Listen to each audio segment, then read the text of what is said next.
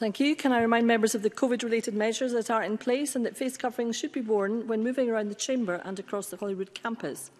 The next item of business is a debate on motion 2429 in the name of Richard Lochhead on delivering a just transition to net zero and climate resilience for Scotland.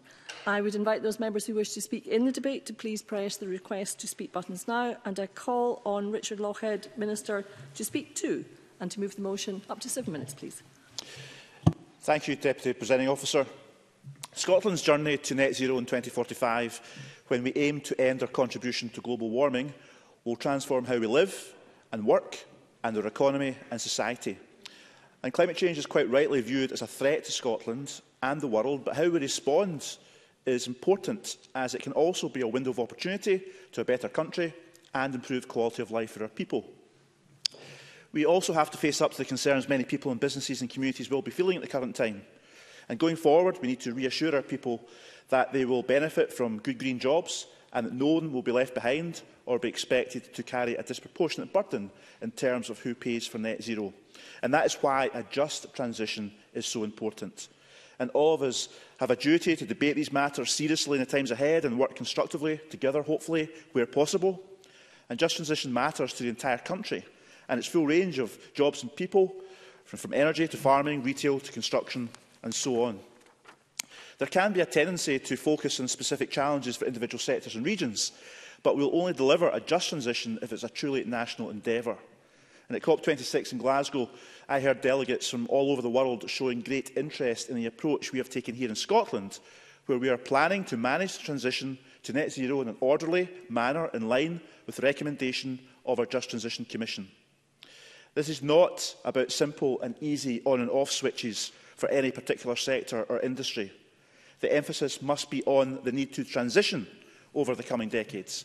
And I recognise the need to ramp up delivery if we are to meet our ambitions. And that's very much the message I took from the Climate Change Committee's progress report published just today. And as well as the challenges, they note that there has been significant advancements, and I quote, in Scottish climate policy ambition over the last year, and our focus and leadership on just transition as well. And a cornerstone of... I'll take it, I can get my time added on, yep. Brian Huzo. I'm very grateful for the member for taking an intervention, but he also accept from the report this morning that they were asking for the government to be more transparent in how those policies will actually deliver the, uh, the targets that you've set. Minister. Okay. We have been and will continue to be transparent, but of course we'll listen to the recommendations in the report today and respond in, in due course. A cornerstone of a just transition is creating good green jobs and new industries. The next decade will see the jobs available and the skills required begin to look very different. And this is one reason why we have committed as a government to developing a skills guarantee for workers in carbon-intensive sectors. But there is also an opportunity to improve the quality of jobs available to people.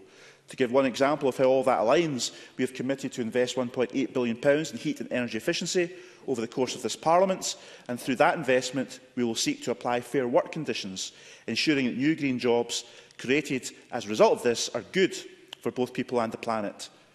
So the transition clearly impacts on livelihoods, but it also impacts on communities as well. And we know all too well the legacy of poorly managed industrial transitions in Scotland. Many have drawn parallels with the future of the North East today, home to our oil and gas industry. This government won't stand by and allow the mistakes of the past to be repeated.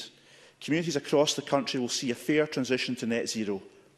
And I want to say that anyone who thinks we can switch off our use of fossil fuels, for instance, overnight, doesn't live in the real world. And likewise, anyone who thinks change is too difficult and we should continue with business as usual also doesn't live in the real world. The real world, which is endangered by global warming. There is understandably much focus on Scotland's offshore sector, and I believe that the industry has an essential role to play in our transition to net zero. The pioneering spirit, the innovation, the investment, the experience uh, is all essential for the transition to renewables and low-carbon technologies, and we have to harness that. Most of all, the people that work in the industry are pivotal, pivotal and must have a, a voice. We must harness uh, uh, their skills and listen to them, and listen to their knowledge and work with them to drive our net zero transition forward. That's again one reason why we have committed to a 10-year £500 million Just Transition Fund for the North East and Murray and why our first Just Transition Plan will have an energy focus.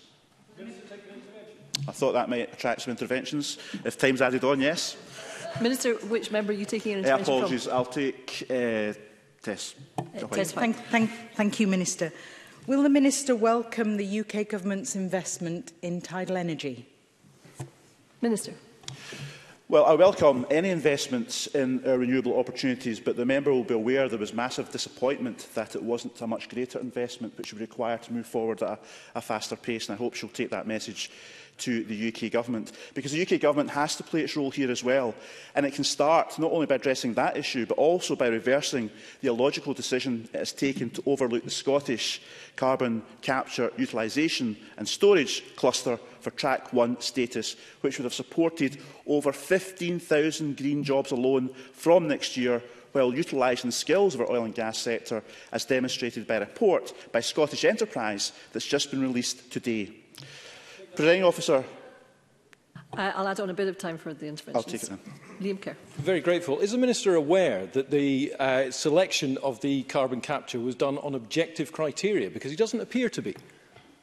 Minister. Well, what I'm aware of is that Sir Ian Wood and others said that it's environmentally and economically the wrong decision, and it's like leaving your best player on the subs bench when you're playing a football match.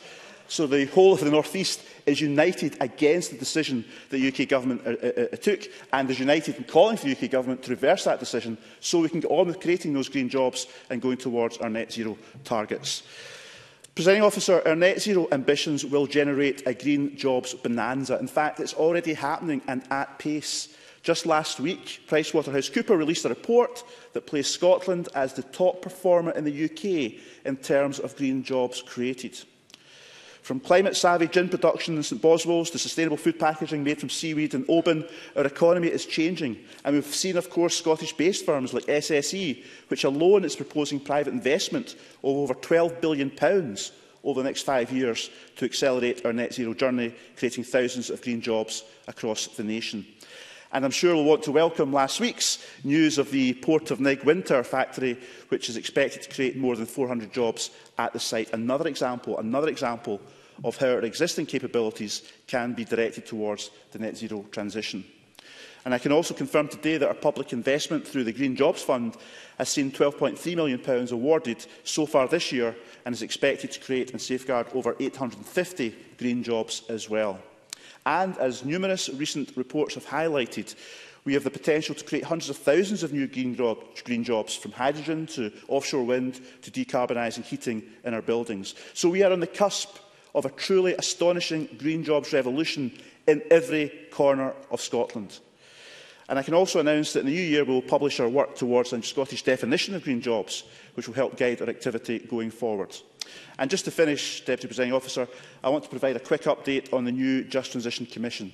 The remit of the new Commission will, was announced earlier in the year, and they are asked to provide both advice and scrutiny on the Government's approach to co-designing just transition plans for sectors and regions. I have already confirmed that Professor Jim Skia will continue in his role as chair. We have now approached members uh, for the new commission, and I will be announcing the full membership next week. And I can confirm that we will be taking a dual approach to the Commission, with some members appointed for the full parliamentary term and others on a fixed-term basis bring to bring their expertise close, to a particular plan.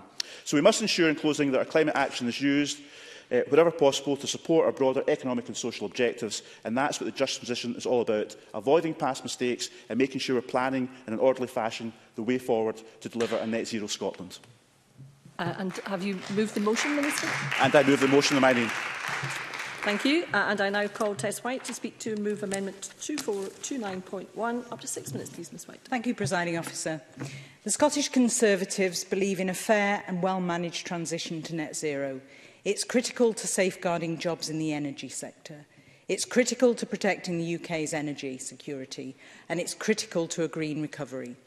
Decarbonising our economy doesn't mean shutting down the oil and gas industry as soon as possible. You simply can't turn off the taps. And you can't ignore demand, which is set to continue until at least 2050. Instead, decarbonising our economy requires careful planning and collaboration between governments, businesses, workers, investors and civil society. The Just Trans Transition Commission, which reported in March this year, has helped to focus minds in this regard. But as the Scottish Conservatives Amendment emphasises, talk of a just transition must lead to meaningful action.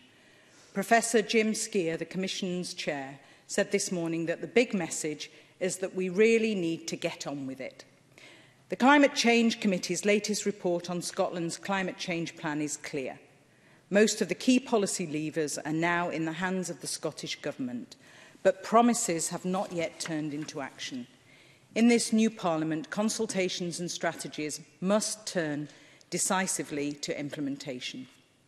Presiding Officer, the UK Government's landmark North Sea Transition Deal, developed in partnership with industry body Oil and Gas UK, is the first of its kind by any G7 country. It contains more than 50 actions to meet the UK's climate targets by harnessing the expertise of the North Sea sector. This isn't about managing the industry's decline, but managing its diversification to greener and more sustainable energy sources so that it can thrive for decades to come. We know that many businesses in the energy sector are already diversifying beyond oil and gas, but that they're experiencing difficulties recruiting the right technical skills. That's why implementing the People and Skills Plan in the North Sea Transition Deal is so important. We know that workers in the sector have skills and knowledge that will transition well to renewables. And research from Robert Gordon University shows that this applies to more than 90% of the UK's oil and gas workforce. The loss of their expertise would be a massive blow to our net zero ambitions. Presiding officer, as an MSP for the North East, those families and communities supported by the oil and gas sector are at the forefront of my mind today. Yesterday, I met with representatives from the Aberdeen and Grampian Chamber of Commerce who were optimistic about the region's resilience and recovery, yet they emphasised that there is still a long way to go. Even before the coronavirus outbreak, the North East had to contend with the oil price collapse and a significant downturn in the industry. Analysis from the Fraser of Allender Institute suggests that while other areas of Scotland have recovered pretty well, the North East is lagging behind every other region. And against this background, energy sector workers have listened to language about oil and gas from this SNP Green coalition, coalition government with alarm. We take an intervention. Um, yes. Graham Simpson. Can I thank Tess White for taking the intervention? Would Tess White agree with me that standing up for 100,000 jobs in the North East and standing up for energy security is not, in the words of a Scottish Government Minister, a far-right position? Tess White. Um, I, I, I agree with the member for Patrick Harvey, a Scottish Government Minister who's not here today, with a ministerial car and a salary to match, to suggest that only those on the hard right support oil and gas extraction. And that's quite frankly insulting to the workers in the sector. Patrick Harvey should try telling that to the engineer who bought a house for his family in Ellen only to be laid off. He can't now afford to pay his mortgage. To gloat about an exploration project hitting the skids when that project could create a thousand jobs is disgraceful. And it, it is typical of the short-sightedness of the Scottish Greens, who would prefer us to import oil from abroad, which has a much higher carbon footprint than meet demand domestically. It's dangerous to demonise an industry particularly when the financial and emotional well-being of workers and communities in my region is at risk. To live with the constant threat and worry of whether they will have a job next month or next year is exhausting. The oil and gas industry is not a villain. As SNP MP Stephen Flynn said last week, it should not be denigrated. Sir Ian Wood has warned politicians, uh, that politicians risk creating an adverse investment environment for the sector. There is nothing just or fair about that. And let's not forget that it is the energy companies who are investing their money, their time. I'm just in my final few, few paragraphs, Minister. And let's not forget that it's the energy companies who are investing their money, time and technical expertise in renewable energy sources. Presiding officer, We all agree that we must work towards a more sustainable future, but our economy must be to secure a fair and managed transition to net zero for those people who rely on the energy sector for their livelihoods. At decision time today, the Scottish Conservatives will support the SNP motion. We are sympathetic to the Labour amendment, but its successful passage would remove our own call for meaningful action. Given the findings of the Climate Change Committee's report today, we feel it's important to press this point, and as such, we won't support the Labour amendment today. I move the amendment in my name.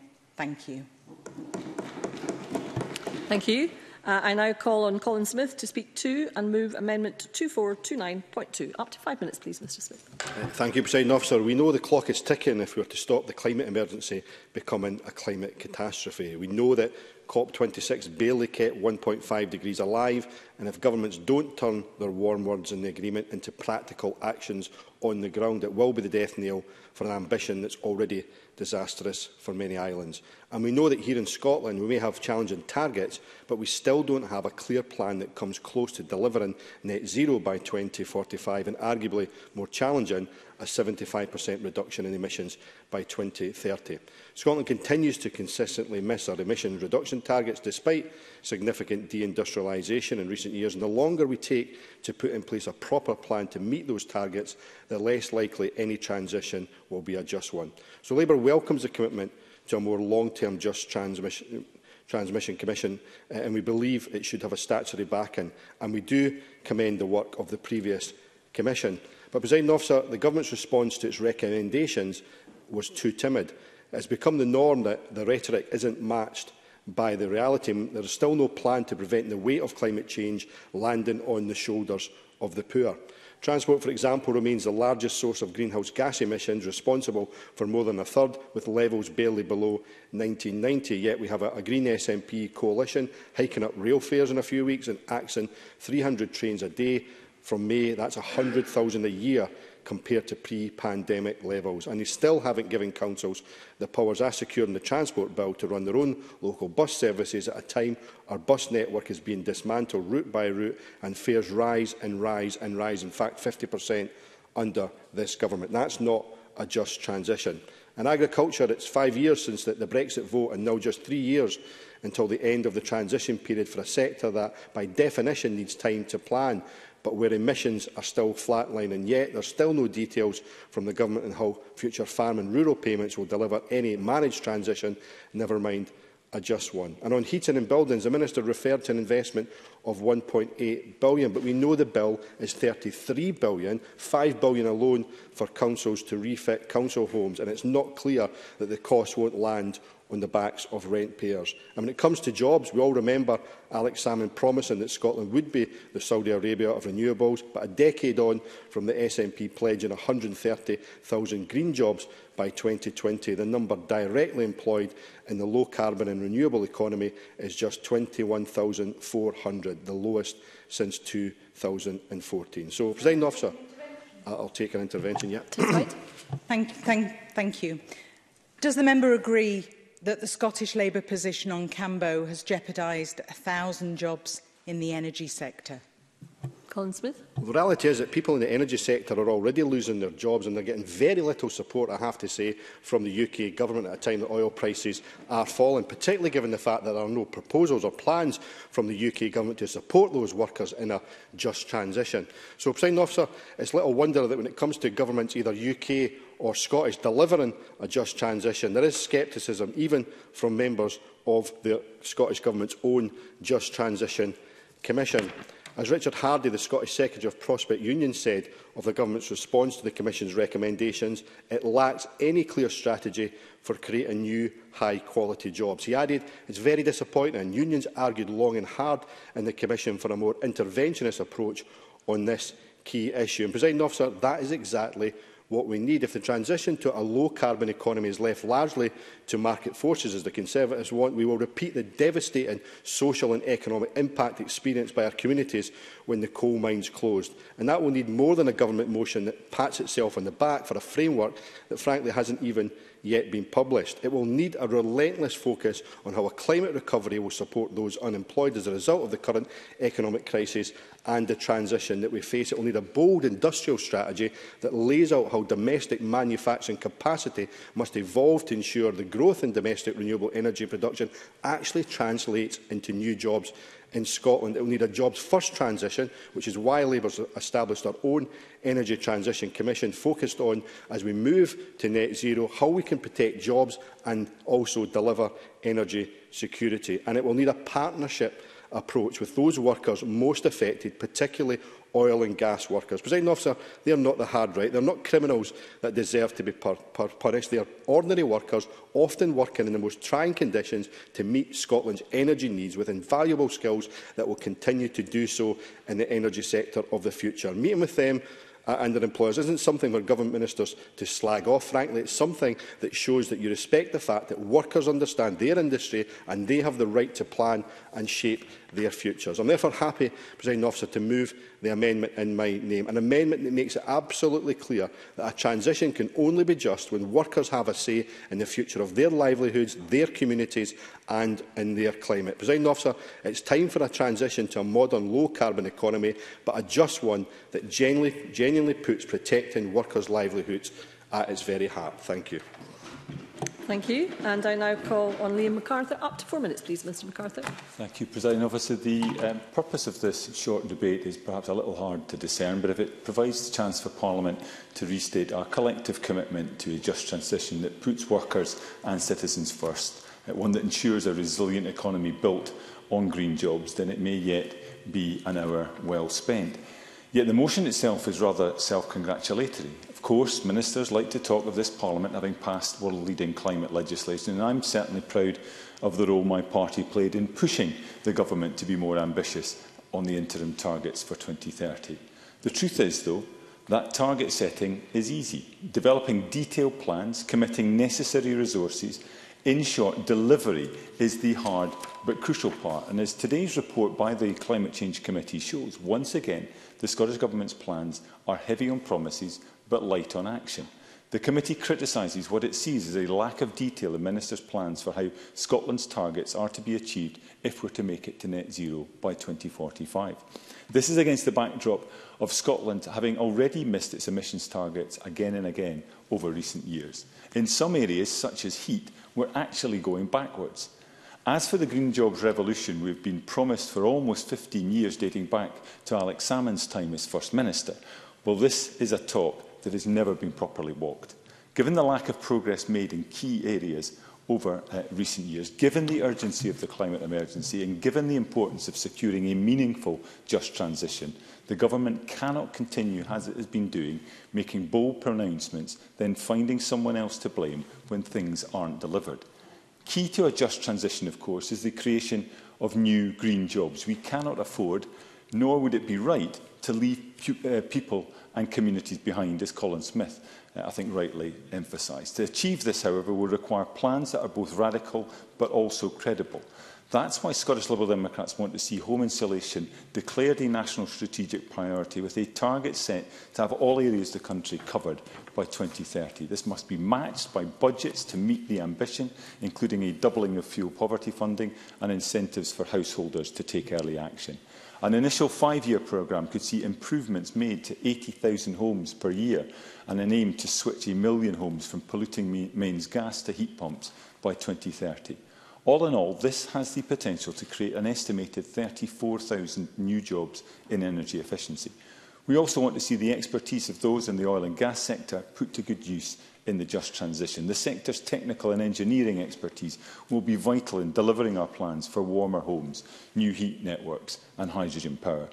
We support the development of a centre of excellence for carbon capture and uh, efficient energy generation. We would involve the construction and renewables industries, along with utilities companies, in partnership with colleges, universities and planners to ensure every opportunity is taken to create an economy that is fit for the future. The potential of such partnerships can already be seen in my own Orkney constituency, where proposals have been put forward to redevelop um, Flotta Terminal into one of the world's first large-scale green hy hydrogen hubs. I had the pleasure of meeting some of those involved in this project yesterday, and the potential is certainly exciting, both in a local, national and indeed international context, further enhancing Orkney's reputation as being at the forefront of renewable energy innovation. Presiding Officer Scotland's targets for net zero are bold, They're ambitious and they're the right thing to do. However, we need government to pick up the pace and start walking its world-leading talk if we do have any chance of making those ambitions a reality. Thank you. Thank you. And we will now move to the open debate. And I would advise members that we have no time in hand and therefore any interventions must be absorbed within the members' speaking time. And I call Fiona Hislop. Up to four minutes, please, Ms Hislop. In 1904, the Oak Bank Oil Company built the Nidri Castle oil works at Winchborough in my constituency. The irony is that not uh, that, that far long before the electrification of the nearby Edinburgh to Glasgow railway line, the works were connected to the shale mines in the area by an electric narrow gauge tra tramway. For several decades in the 19th century, Scotland was the leading oil producer in the world.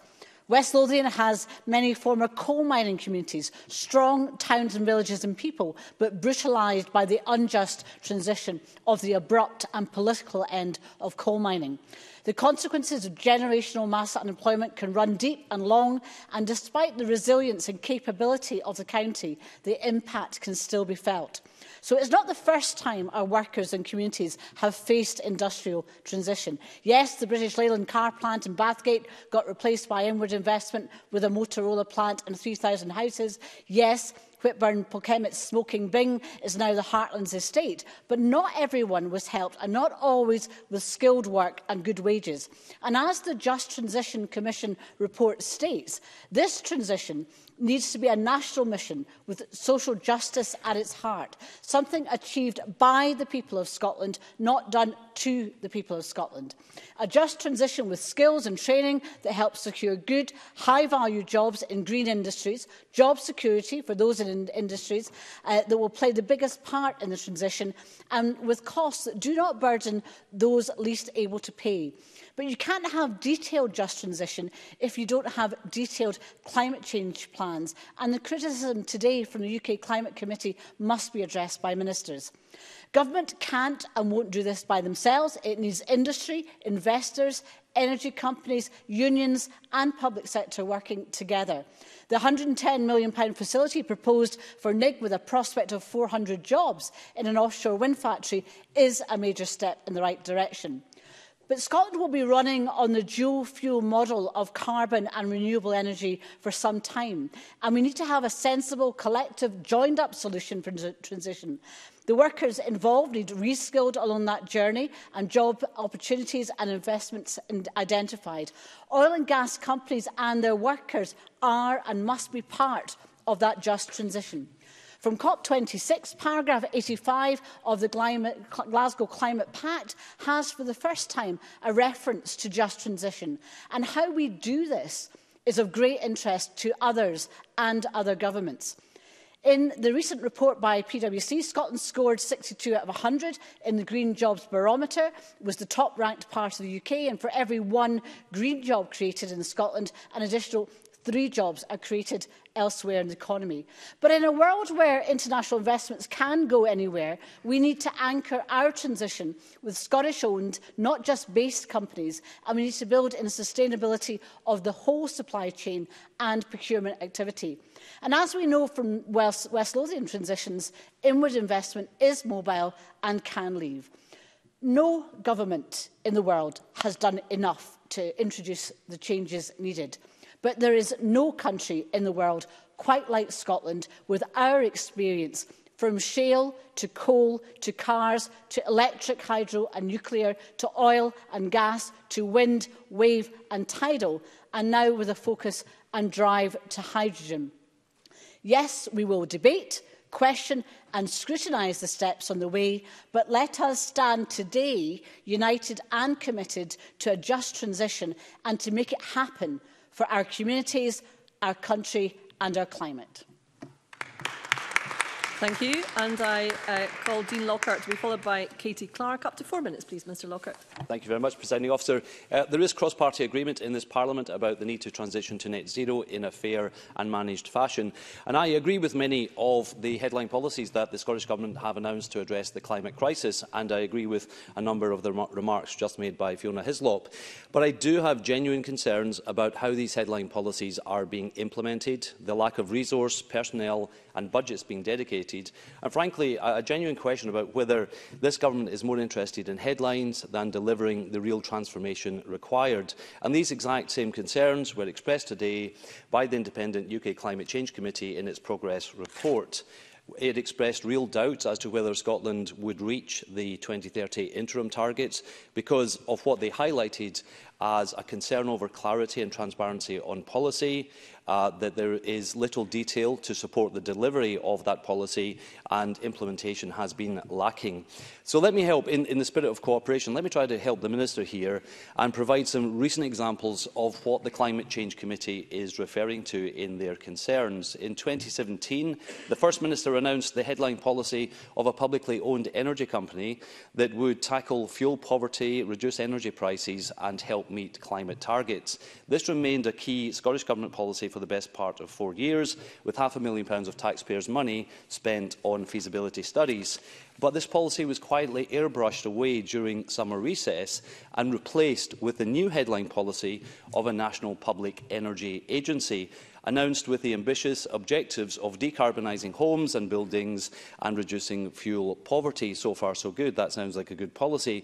But again, on closer inspection, this turns out just to be a headline, with the Cabinet Secretary confirming to the Net Zero Committee that this virtual agency will be no more than a website with no additional resource budget or staffing. In other words, a headline policy with no substance has been replaced with another headline policy with no substance. And that, Minister, is something that uh, I, I have genuine concerns about. The policy intention, I think, is good, but the delivery is failing. And, and again, if we look at the Scottish Government motion today, um, we see the same approach being taken, proclaiming that this is the first government in the world to commit to a just transition planning framework. Uh, yeah, yes, I'll give way. Minister? Can I thank the member for giving way? And he's referred to the Climate Change Committee's report published this morning eh, a number of times. And one of the references within that report is that If our carbon capture storage projects do not get the go-ahead in Scotland, we're going to have to up the commitments to other measures in Scotland, which the members have said are very, very challenging at the moment. Does it not therefore make sense for the UK Government just to give the go-ahead to the one project that's there, ready to go, the ACORN project, so we can get on with achieving our net zero targets and creating these good green jobs? Dean Lockhart. Yeah, thank you. Well, I'm glad to know that the, the, the Scottish cluster is in the first reserve list and continues to get uh, significant support from the UK government, including £31 million to date. And I'm pretty sure it has a, a healthy future backed by UK government financing, which I believe it's not received any uh, financing from the Scottish government. But my, my question to the Minister, and perhaps he could address this, uh, is in relation to the policy framework referred to in the Scottish government motion today. What does it mean? How will it be financed? I don't see any targets or any meaningful way that uh, this policy can be measured or, or delivered again against.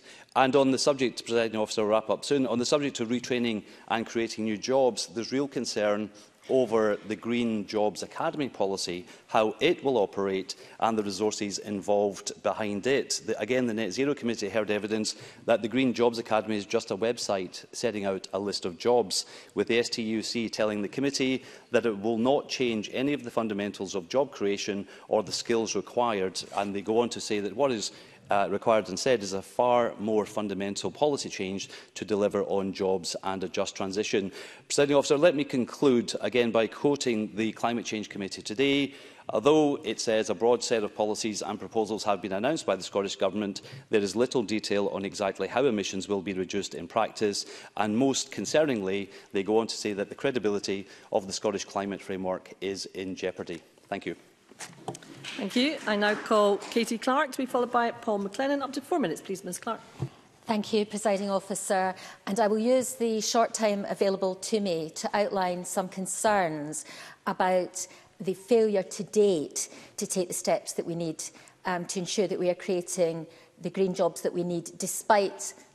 ambitious targets. Because despite previous ambitious targets, um, jobs have not been created in the numbers and on the terms and conditions required to make a just transition possible.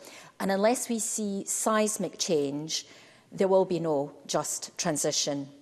There's no doubt that we need a jobs and a workers-led transition with the trade unions at, at the heart of this debate in all sectors. However, as has been said previously, the latest figures from the ONS show that an estimated 21,400 direct full-time equivalent jobs were created in the low-carbon and renewable energy economy in 2019, the last year that we have figures, and that this was a fall from 23,100 the previous year and the lowest direct employment since 2014.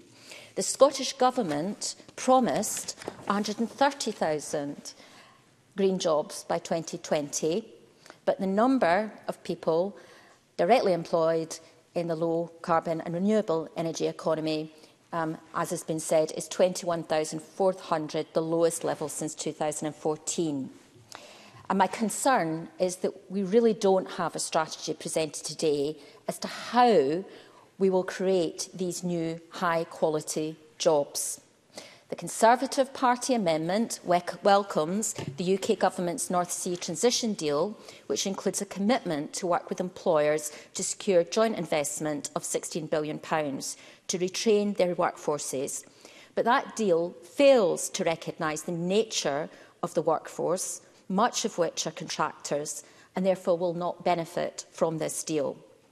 The recent debate on offshore training passports outlined the transferable skills that many oil and gas workers have. And the Robert Gordon University work found that over 90% of the UK's oil and gas workforce have medium top-level skills transferability and were placed to work in adjacent energy sectors. And that report projected that 100,000 in that sector are likely to be um, in um, jobs um, that have transferred um, from existing oil and gas to offshore renewable roles. But of course, that's only approximately half of the workforce that we're talking about. The announcement on Campbell makes clear that change is coming. Green, well-paid jobs, however, are not currently being created in the numbers required, and much more needs to be done by both governments to make them a reality. Of course, Scotland has huge potential to lead the way in renewable energy but our history is one of innovation and invention, but of failing to turn that into mass production. And of course, that's what's happened in the renewable sector in recent decades. We need an industrial strategy which lays out how domestic industrial capacity will ensure the growth in renewable energy production and new jobs in Scotland. As a first step, we need to create a publicly owned energy company, but we also need to look at municipal energy production, such as the solar energy farms being created by North Ayrshire Council. The model of public energy provision is mainstream in many other parts of the world, including Germany and the USA. I welcome the debate on all sides,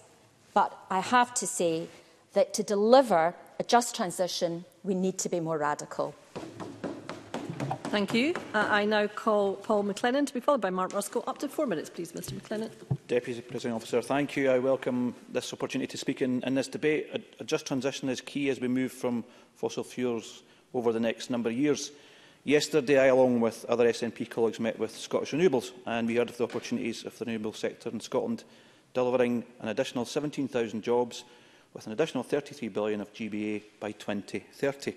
We also heard from Ellie MacArthur uh, earlier on around about the opportunities around about 34,000 jobs in retrofitting. And as Tess White mentioned and Katie Clark mentioned as well, there was also the recent report by Robert Gordon University stating that 90% of oil and gas industry jobs have medium to high transferability into green and net zero industries. And, and there lies the opportunities for us. On planning for a managed transition, we need this period of change to be shaped proactively. Now, it's been mentioned before around about the new Just Transmission Commission uh, being recently announced, and it's led by Professor Jim Skia. obviously, he has a Greek background. He's co-chair for the United Nations IPCC. And I think this is a really important point, and I think it's been brought up by a few people as well. The Commission will provide scrutiny and advice on the ongoing development of Scottish Government-led transition plans, and that's quite right. Every, every government should be held to, to account, including the application of the Just Transition Planning Framework. It will also advise the most suitable approaches to monitoring an evaluation. I look forward to debating that when it comes forward uh, next year. The Commission will also undertake engagement with those most likely to be impacted by the transition, hearing from a broad range of representative voices. And again, I think Katie Clark mentioned it around about the, the, the unions. I think they are vitally important as we look at doing that going ahead. And as I said before, there will be a crucially a public, uh, an, an annual report to reflect on the progress and of course held to account. And that was mentioned uh, as in the CCC call for transparency this morning. Now, the initial Just Transition uh, report was organised into four overarching themes.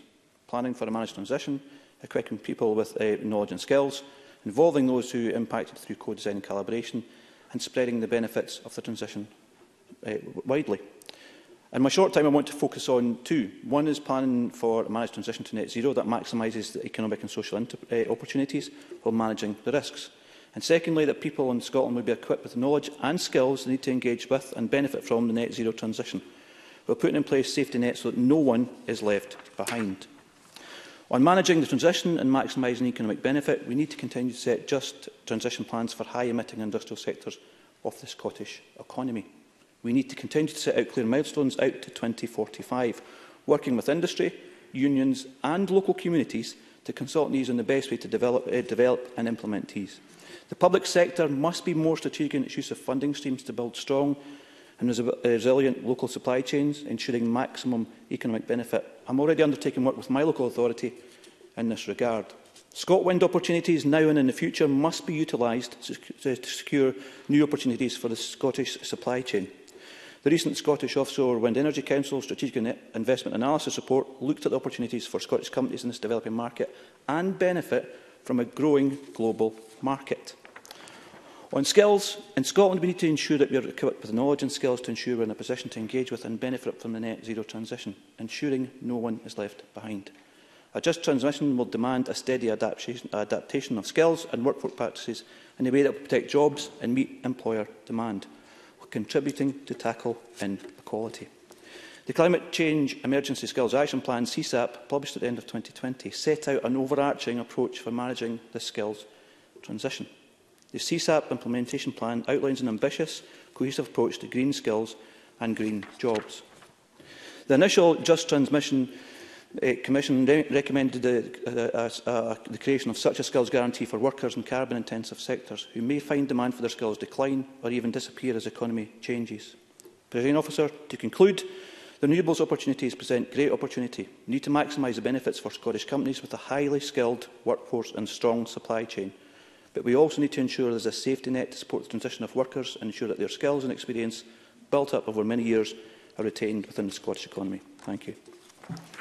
Thank you. I now call Mark Ruskell to be followed by Graham Simpson. Up to four minutes, please, Mr Ruskell. Thank you, Presiding Officer. Well, post COP26, this is a critical time to be doubling down on the climate science while ramping up action on a just transition. And of course, the oil and gas corporations have for decades funded climate denial – So it's no wonder that recent polling shows that the majority of the public do not trust them to lead the just transition. But the oil and gas workers deserve our respect, our support and solidarity for the huge contribution they've made to our energy needs since the 1970s. They should be the ones leading the just transition. But for years, they've faced uncertainty in a boom and bust sector – And despite an eye-watering £13.6 billion pounds of tax subsidy donated to the oil and gas sector by the UK government since the Paris Agreement was signed, there continue to be major job losses. Over 10,000 job losses in the oil and gas sector over the last year, in a sector which employs directly just over 30,000, with nearly three quarters of workers now employed ad hoc as contractors. So it's no wonder that over 80% of oil and gas workers in a, re in a recent survey said they would consider moving to a different sector, with over half of those interested in renewables and offshore wind. And job security was cited as the biggest factor in that survey. But the UK policy of maximum economic recovery of oil and gas does not help with that just transition. It postpones action It drags investment away from renewables and it creates a future cliff edge for workers. And it also, of course, critically undermines the global UN climate negotiations, making it impossible to ask countries to adopt the language of phasing out coal when we won't phase out our own oil and gas. Now, this policy of maximum economic recovery could lead to a future sudden collapse in jobs where climate impacts lead to a high carbon price, shutting down production. And if we can learn anything from the Tories' brutal dismantling of the coal industry in the 1980s, it's that sudden collapses like this punish communities for generations. I don't think I've got time, unfortunately. But, but it is absurd to say that stopping Cambo would mean turning off the taps on North Sea oil and gas, leading to that kind of unmanaged collapse. Because there are already 6.5 billion barrels of oil in over 200 fields already licensed in the North Sea, enough to see us through years and years of energy transition. And it's clear that Cambo would be disastrous. The emissions from burning all 800 million barrels of oil in the field would be 10 times the annual emissions of Scotland, lasting well beyond 2045 when we're meant to, meant to be a net zero country. And where would the jobs go Sika Point Energy have said that the engineering construction work would be outsourced to a firm based in Singapore. The whole operation is designed to need just 100 to 150 staff who could end up being drafted in from anywhere in the world. Now, calling a halt to Cambo and other new fields is the start of a managed transition rather than a future based on the economic chaos of stranded assets that we cannot afford to burn. And there have been years of warnings from Mark Carney to the IEA of exactly this scenario. Presiding officer, the announcement of the turbine tower factory at NIG last week was a hugely important step. It needs to be the first of many more announcements that build a high-value supply chain in Scotland with quality, fair jobs. The just transition must follow the climate science, but it must also be designed by the women and men whose livelihoods depend on its success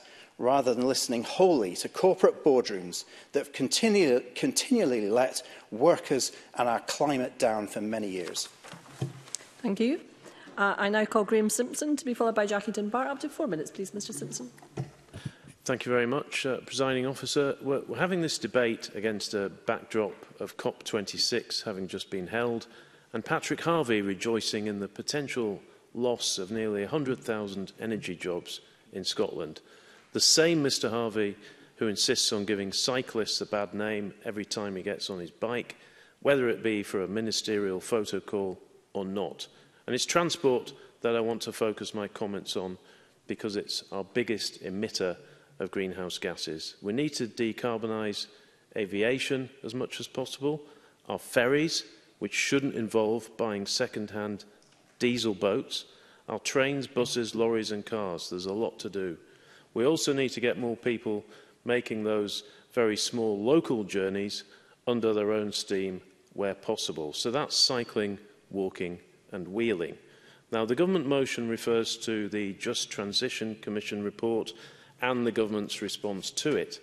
On transport, the response says the ambition is that public transport and active modes of travel are the norm, supplemented by zero emissions vehicles where needed which is all fine. The challenge is how to get there. If we want to get more people onto public transport, then the services have to be there for them to use and they need to be at fares that are affordable. So cutting train services isn't the way, as Colin Smith noted. And having public transport deserts, as we do in some places, isn't the way. We need to move to a fully integrated system, and we're a long way from having that. Public transport is nowhere near being the norm. We've yet to see significant reform of the bus system. We don't yet know what the Scottish Government has planned for our railways, and we're months away from it being nationalised. And we know that the way the ferries are run is in dire need of a shake-up. We just need the government to accept that. Active travel also isn't the norm, but it is affordable for many and low carbon. And in order to encourage more people to take up cycling, we need safe cycling infrastructure. And that usually means segregated. I was at the COP26 rally in Glasgow. I cycled there in the rain, and the message from my fellow cyclists was that our machines fight climate change. Mark Ruskell was there as well. Investment in cycling is good value for money and investment in cycling infrastructure and cycling projects creates new green jobs. Cycling can be part of a just transition to net zero, which also means tackling transport poverty. People in low-income households are far more likely than richer households to use public transport rather than owning a car. 60% of households with an income of less than £10,000 don't have access to a car. 55% of households in North East Glasgow have no access to a car. Using a bike is much, as much more affordable option for many on low incomes than e-vehicle ownership. 81% of people say they would be motivated to cycle if there were more cycle lanes, traffic-free routes and off-road cycle paths because they currently feel unsafe on the roads. So I'm going to be looking very carefully at what's announced in the budget this week. We'll need action on electric vehicles, buses, trains, ferries and active travel, as well as on improving existing roads. They're all compatible and they must happen. So this week can be a key test of whether we're serious about change or if, it, or if it's all hot air.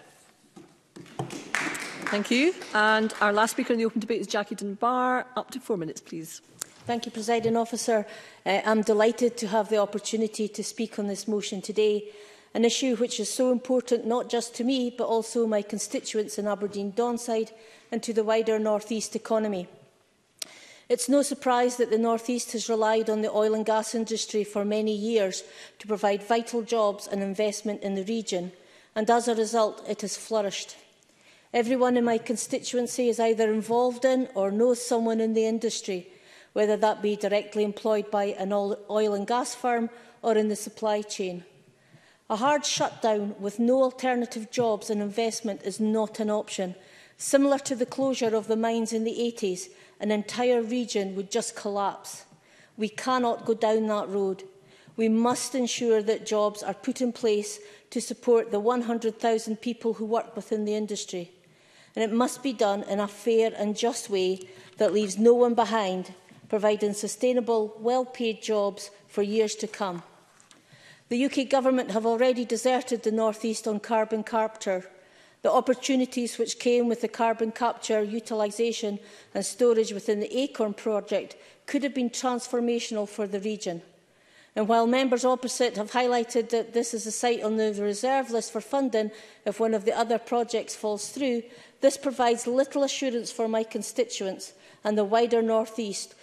who don't need empty promises and reserve status. They require solid opportunities and funding to achieve a just transition and net zero. Sorry, I don't have time today, thank you. There can be no just transition without taking the North East along with us, and at the moment we are being left behind by the UK government. Presiding officer, the transition away from oil and gas is required to meet our climate change targets. We have a responsibility to play our part in tackling the climate emergency. Inaction is simply not an option. Of that, I think we can all agree. I have focused mainly to this point on the job aspect of the need to transition. But climate change presents a massive opportunity to strive for high quality, zero carbon housing and tackling inequality. And social justice can also be at the heart of our just transition. In addition to funding the buildings of thousands of new homes, the Scottish Government is rightly increasing investment in home energy efficiency measures.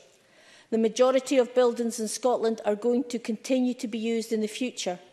So we have to retrofit what we have if we're serious about getting our buildings to net zero.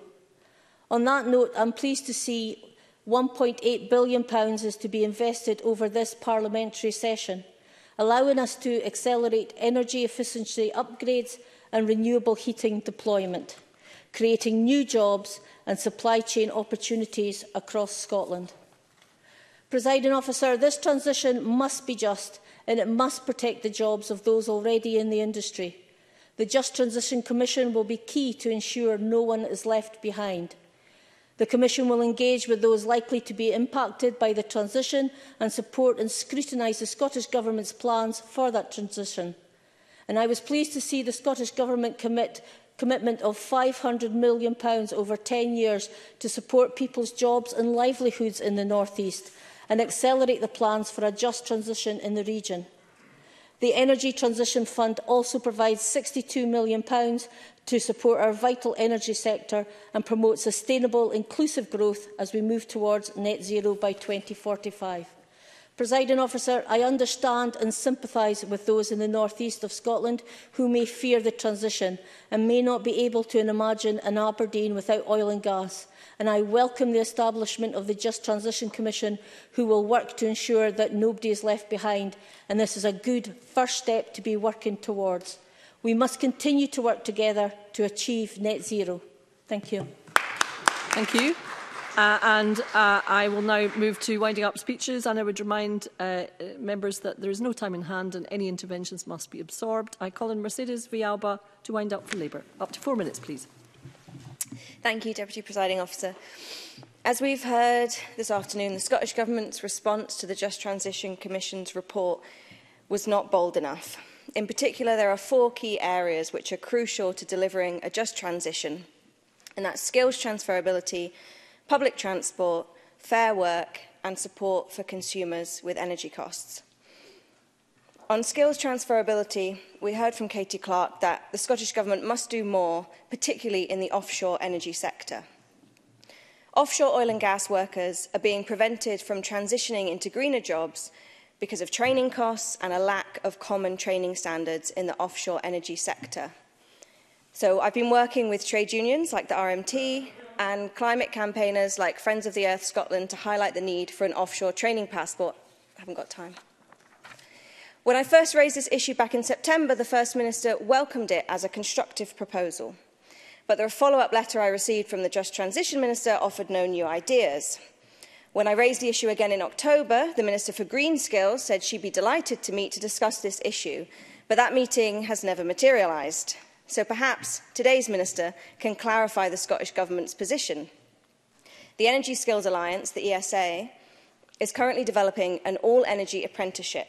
And that will benefit new entrants to the industry, but it's not going to help the existing workforce. So I'd like to ask the Minister to address in his closing remarks whether the Scottish Government will commit to exploring all options for the introduction of an offshore training passport, including through the ESA. We heard from Graham Simpson that on public transport, the Scottish Government must do more. They say that um, they will commission a fair fares review to look at an integrated approach to transport fares. But many will be wondering why integrated fares could be delivered for COP26 delegates, but now it requires a review before it can be rolled out to ordinary passengers.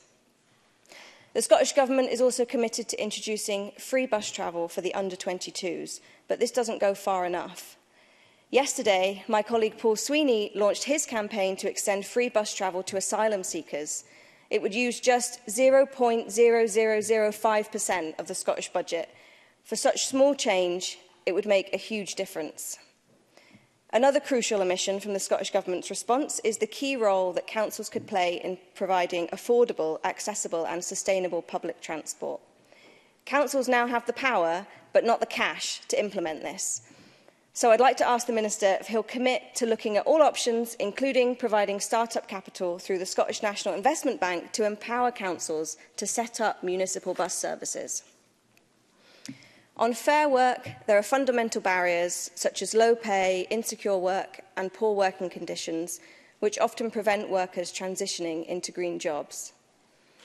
To ensure that our transition away from carbon-intensive sectors is worker-led, we must ensure that new green jobs are well paid on secure contracts with excellent terms and conditions. The Scottish Government has committed to introducing a new Just Transition Commission – This new commission must act in the interests of workers. So that leads me to my third ask of the Minister. Will he look at instructing the new Commission to plan for a just transition framework which extends trade union recognition and collective bargaining rights for workers in all green sectors of the economy? And finally, on public energy.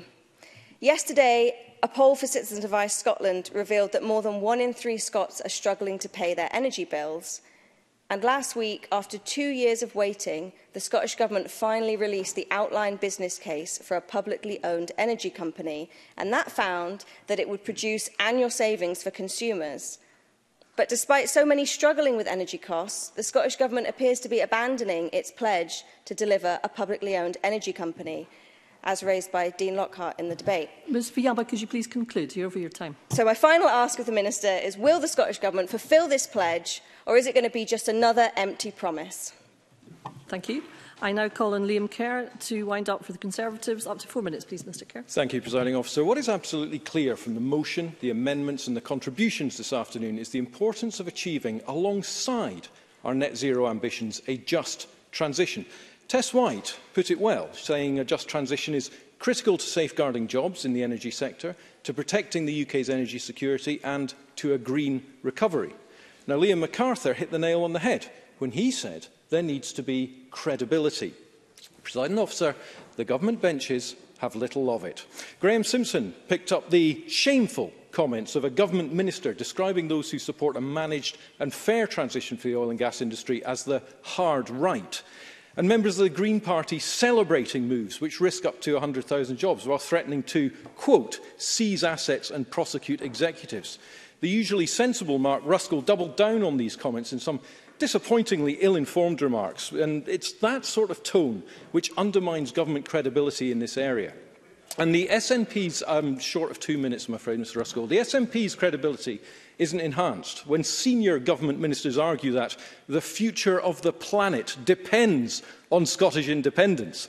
Presiding officer, several contributors raised the Climate Change Committee's report It warns that credibility will be undermined if there's a widening of the gap between targets and achievement. Yet members will well recall John Swinney's boast in 2010 that offshore wind energy would create 28,000 posts by 2020. It has delivered fewer than 2,000. Colin Smith pointed out that there have been around 22,000 renewable energy jobs created in Scotland, yet in response to a parliamentary question last week, the Minister conceded that no data is available to provide geographic, geographic breakdowns below Scotland level. So the Scottish Government doesn't even bother to interrogate the data to find out whether job creation is happening in areas such as the North East, where job losses are greatest. And credibility is further damaged by Jackie Dunbar's reference to a Just Transition Fund and calls for the UK Government to match it. I remind her that the Minister's copy and paste responses to my parliamentary questions show there are no details about when, where, to whom, from whom or for what it will be paid. We don't even know which budget it's coming from, and there won't be until spring 2022. What a contrast to the UK's £16 billion North Sea transition deal, that that matches the Just Transition Fund 32 times over, which will deliver 40,000 jobs and is happening now. President officer, we've heard that achieving a just transition requires that we take a rational approach to this debate and do not demonise particular industries and companies. My North East Conservative colleagues and I met with BP last Friday to discuss efforts they're making to utilise their skills, leadership and workforce to effect a genuinely fair and managed transition. Most oil and gas companies in the UK are doing similar and then ask who is going to finance the bulk of the 70 to 100 trillion dollar costs of global transition? Well, it will have to be private sources, sovereign wealth, pension and hedge funds, asset management companies, investment trusts and energy companies. Now, I know some members don't like to hear that, but we have to start talking sensibly, scientifically and rationally about the industries we are transitioning from and to and how. Now, Dean Lockhart pointed out that the Scottish Government specialises in headline policies with no substance. And yesterday, Russell Borthwick at the Aberdeen and Grampian Chamber of Commerce said, we need Just Transition to become a meaningful programme of action, not just a glib phrase. They're both right. So I say to the Minister, we will vote for his motion's warm words, but he must move away from the soundbites and the virtue signalling, acknowledge our demand for meaningful action and vote for our amendment today. Thank you. Thank you. And I now call on Minister Richard Lockhead to wind up for the Scottish Government. Up to six minutes, please, Mr. Uh, Minister. Thank you, Deputy Presiding Officer. Um, I think it's pretty clear that from today's debate, which is an important debate, and I'm sure we'll have many more debates like this in the coming years, it's clear that we all approach this agenda from different perspectives uh, and viewpoints. But there is broad consensus and urgent need to tackle climate change and to do so in a way which is fair and brings households, businesses and communities with us. And I know that many across this chamber have that shared ambition and there is opportunity, hopefully, for us to work together to ensure that we get this right in the coming years.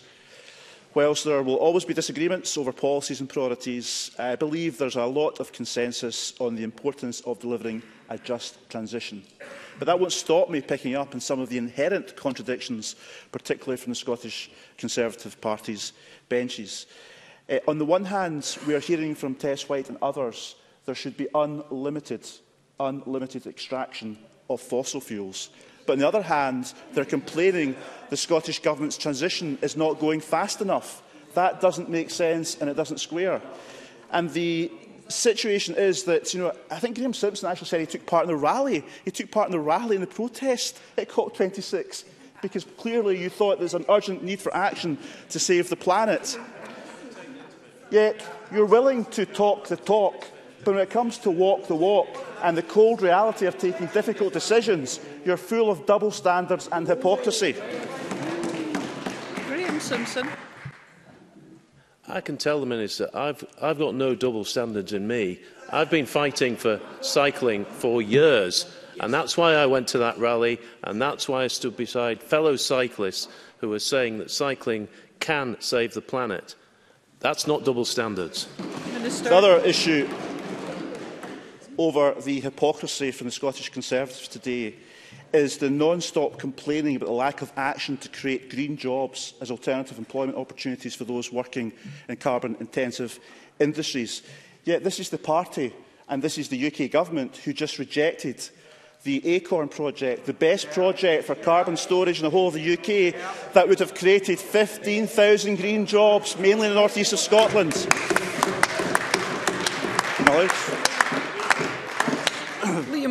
briefly, Mr The Kerr. UK government's put in £31 million pounds so far to that project. How much has this minister's government put in? Minister.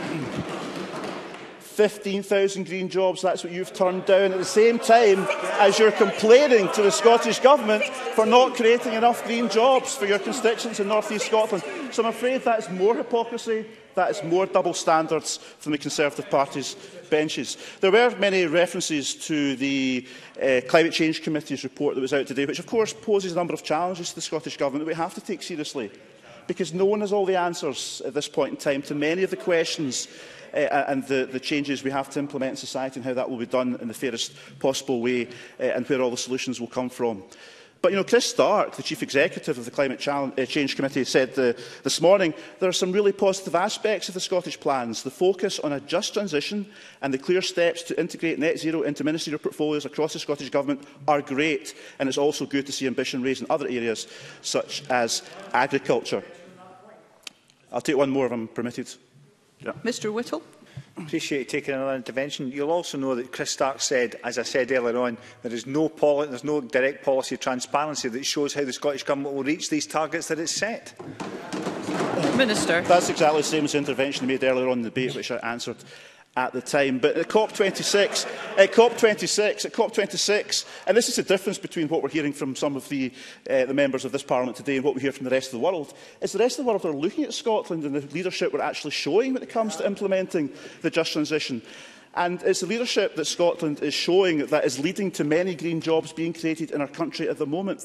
The Labour Party lament the lack of action over green jobs, and I, I said that the latest tranche of awards in the Green Jobs Fund today is creating over 800 green jobs in Scotland. But the private sector, the private sector is creating tens of thousands of green jobs that are being pledged due to leadership the Scottish Government and indeed Scotland is showing in terms of going towards our net zero target. Many people refer to global energy groups proposed proposals for NIC, which will create 400 long-term direct jobs and over 1,000 indirect jobs.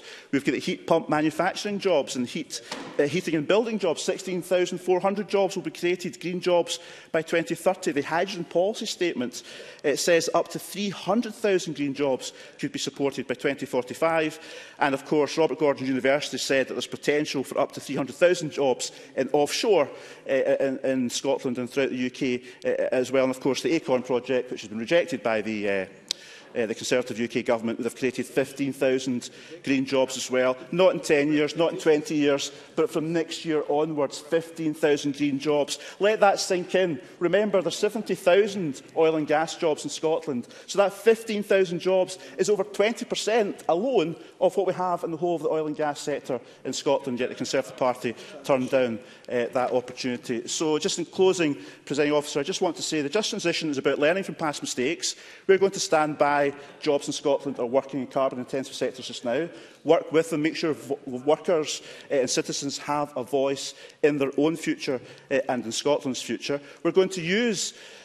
the challenge of climate change as a window of opportunity to tackle embedded inequalities in our society, as well as create those green jobs, but not just green jobs, but good green jobs as well. So this government, this parliament, this country can make our uh, contribution to tackling global warming, but at the same time improve the quality of life of people living in their own country. Thank you.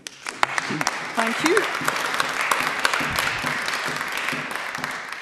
That concludes the debate on delivering a just transition to net zero and climate resilience for Scotland. It is now time to move on to the next item of business, which is consideration of a legislative consent motion.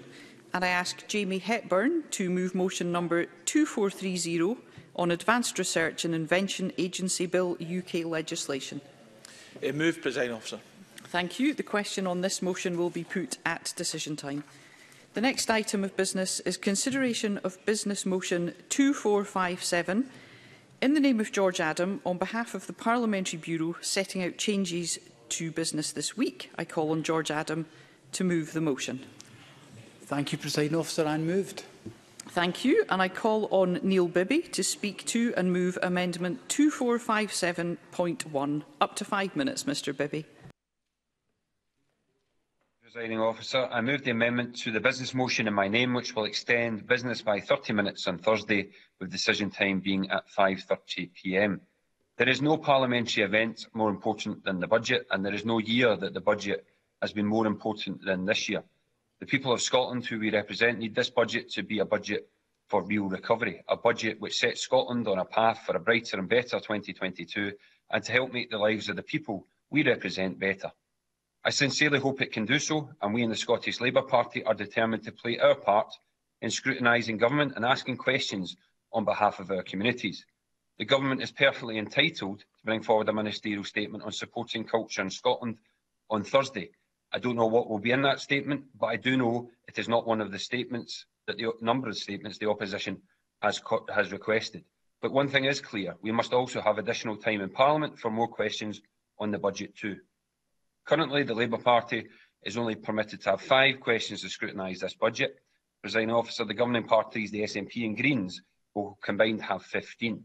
That may be good enough for them, but we have many more than five questions to ask on behalf of our constituents on jobs, hospitals, schools, buses, housing, the environment, our high streets and many, many more issues. If the Scottish Government do not agree, then it begs the question, what do they have to fear from scrutiny? This budget needs to be a budget for real recovery and a budget for jobs. Presiding officer, we need to do our job, and if it means staying an extra half an hour on Thursday to do it, then so be it. Scottish Labour, therefore, is calling on Parliament to back our amendment, we do so in the hope that this budget truly can be made to kickstart recovery and to make a difference for the people of Scotland. I move the amendment. Thank you, Mr Bibby. I call on Stephen Kerr. Uh, presiding officer, um, I rise to speak against this business programme motion and in support of the amendment. Presiding officer, as you know, I've been in touch with Bureau members over the past few weeks regarding the budget statement on Thursday. Initially, the government planned for the budget statement to last one hour 20 minutes for the statement itself and only 40 minutes for questions. And while it's true that the statement was extended from 60 minutes to 90 minutes, realistically this merely brought it in line with the last few years' budget statements and was therefore not an extension or indeed any kind of a compromise at all. There is now, as we have heard, to be a statement on culture on Thursday. And I am sure, as he did at Bureau, Mr Adam, the Minister for Parliamentary Business, is about to take umbrage and pretend that my objection is an insult to culture. Such nonsense, indeed, drivel. The real insult to culture, presiding officer, is that it is being used in such a shoddy way to be shoehorned in when it was suggested that the time in hand after the budget could be used to provide more MSPs with the opportunity to ask a question. The inescapable conclusion from all the programming shenanigans is that the prime reason for this statement being added in at the last minute is to protect Ms Forbes from answering questions. I certainly have confidence that the Cabinet Secretary would be up I certainly have confidence that the Cabinet Secretary would be up to answering backbench questions. Why doesn't he? Mr. Adam refused my reasonable suggestion in Bureau to move the culture statement to next Tuesday, where it would not be overshadowed by the budget. This stands in stark contrast to his failure to allocate time for a statement on the circular economy during COP26, because at the time he maintained it would be overshadowed by the international event. Presiding officer, where is that concern now? This is, a, this is about protecting ministers from the scrutiny of this Scottish Parliament.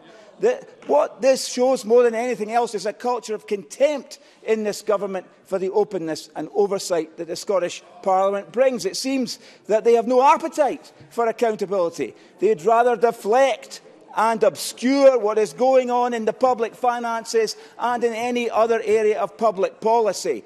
More time for more questions and discussion on the budget is needed. How can it ever be a bad thing, presiding officer, in the Scottish Parliament to ask questions of the executive? And I conclude, there is a growing danger that the more the Scottish Government tramples over the Scottish Parliament's business schedule, the more accustomed to it we all become. Backbenchers deserve to have their questions answered. The desires and concerns of our constituents deserve to be me? heard in this Ms, chamber. Mr. Kerr, Mr. Kerr, can we please hear Mr Kerr, colleagues? Thank you. It is. It, thank you, presiding officer. It is the job. It is the job of the Scottish Parliament to hold the Scottish Government to account. The people of Scotland deserve no less. And therefore, I urge members to reject the programme motion in favour of the amended motion.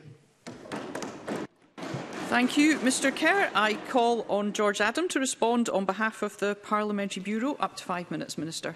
Thank you, Presiding Officer. Can I just say at the very beginning, Presiding Officer, that I've known Kate Forbes for many years, and Kate Forbes does not need me to hide behind in any shape or form.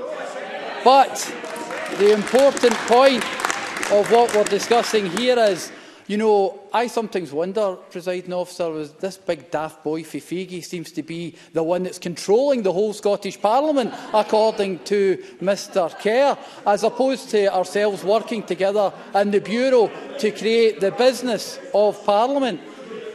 But just to actually, after having the pantomime that we've just recently had, presiding officer, I think it's time to talk about the actual facts.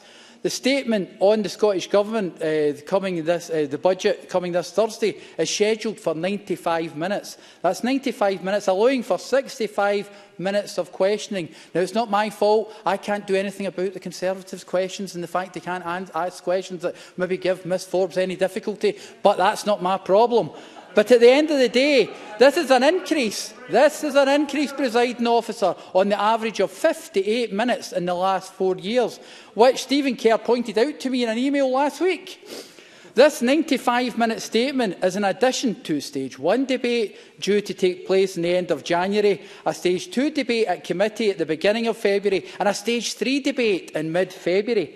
I can assure members that the adequate time will be given to the budget, that there will be no limiting of scrutiny being proposed by anyone here at all. Thursday's proposed business includes a statement in supporting culture in Scotland, because culture is a key economic sector. In 2019, the creative industries contributed around £4.5 billion to the economy, employed over 127,000 people. now for, I heard earlier on today at Bureau, that, and it was hinted at here today, that this was some kind of buffering, using culture to use up parliamentary time. That, presiding officer, is an absolute disgrace because this is an industry that is extremely important to Scotland. It's extremely important to our economy. And after the year that we have had, after the 18 months to 20 months that we've had, I think it's important that we actually discuss what's happening in culture now and what we're doing for the future. The pandemic, the pandemic hit the culture the culture sector harder